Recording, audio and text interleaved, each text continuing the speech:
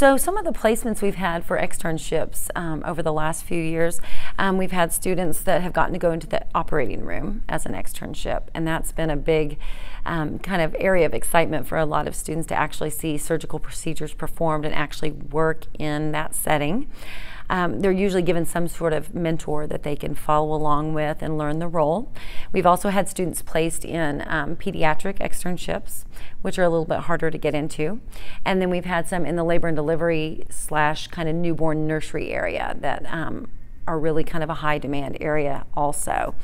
Another thing that's a little bit unique is if the student can't stay in the Tulsa area because they're from Kansas City or Dallas or whatever, and they really need to go home for the summer for whatever reason, we've written letters of recommendations and they've gotten externships even at those home hospitals.